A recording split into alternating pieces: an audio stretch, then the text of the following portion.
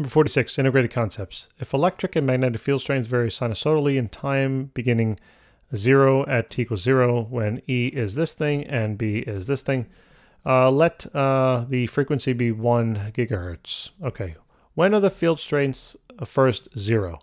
So basically, um, we have two formulas here, that the magnetic field uh, strength at some point in time is equal to the max multiplied then by the sine of 2 pi frequency times time. Okay and the electric field is basically the same thing. 2 pi frequency times time. So if, just think about this, if t is 0, then this whole thing in the sine function goes to 0, and sine of 0 is 0, and therefore this whole thing, everything just goes to 0. So the answer for letter A is just t is equal to 0. Okay, letter B. When do they reach their most negative value? So in order for them to be most negative, the sine here has to be, in terms of now, we have to do this in terms of radians. So that whole has to be 3 halves pi.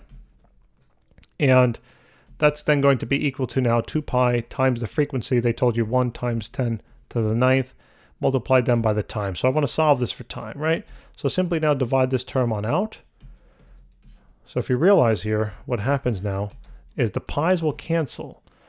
It's basically going to work out to be now algebraically, this works out to be 3 over 4, because the 2's will multiply, and that'll be then 1 times 10 to the ninth.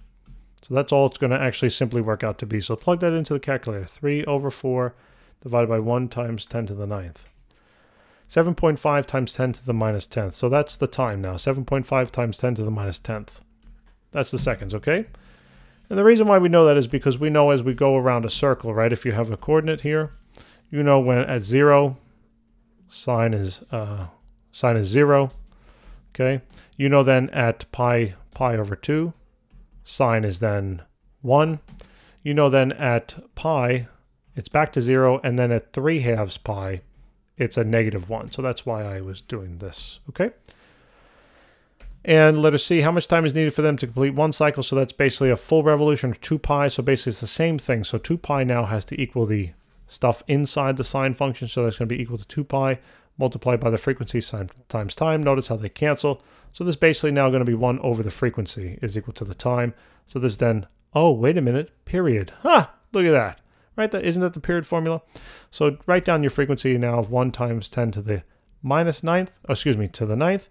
And this will simply become 1 times 10 to the minus ninth. That's the time. Guys, thank you for tuning in. I will see you in the next chapter. Be well.